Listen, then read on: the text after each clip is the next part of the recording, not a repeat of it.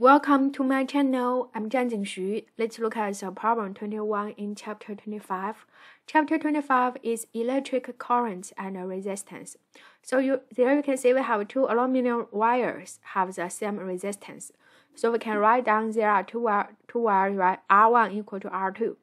And then it tell you if one has twice the length of the other. So we think the L1 over L2 equal to 2. So the L1 has twice the length of the L2, right? Ask you, what is the ratio of the diameter of the longer wire to the diameter of the shorter one? So you can see the longer one is L1. So this way we can see the, you ask you to find the ratio for D1 over D2. Agree? Yes. So there you can see the quantities has some relationship with the resistance the length, and the diameter.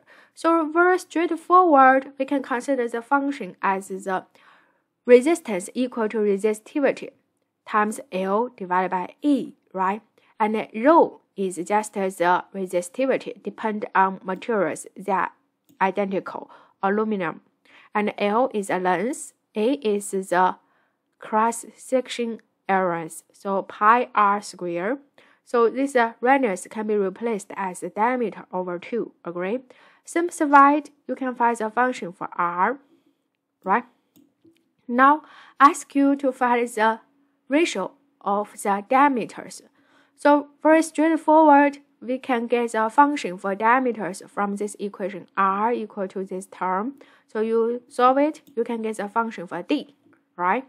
Now you can see we look at the ratio d1 over d2. We replace d1 as the this term L1 over R1.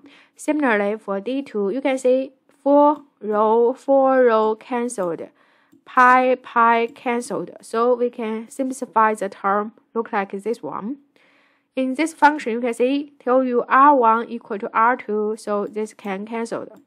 Finally, you get the term as squared L1 over L2. Input the term L1 over L2 as 2 inside. You get the final answer there.